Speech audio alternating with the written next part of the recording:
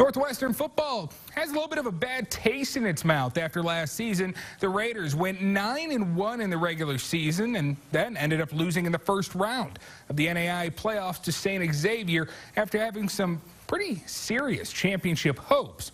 Obviously, a loss like that does nothing but motivate this year's team, and it should be pretty impactful, seeing as Northwestern only lost 10 seniors from last year's squad, meaning every returner from 2019 will have the same motivation, and it's not like it's a bare cupboard in Orange City. The Raiders bring back GPAC Player of the Year Tyson Kooima, as well as the team's top two receivers, led by senior Shane Solberg.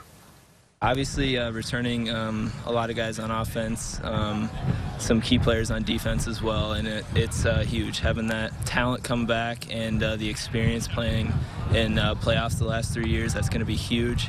And I think the new guys coming in too are going to help a lot. The group of seniors we got this year really have just done an incredible job as far as like leadership, um, helping out those younger guys because we all remember what freshman fall camp was, sophomore fall camp. You're just kind of learning the ropes yet. And I've noticed the seniors have done a really good job this year at helping them out. Red Raiders opening their season in Sioux City under the lights, just 19 days away when they take on two-time defending champs Morningside with a 7 p.m. kick.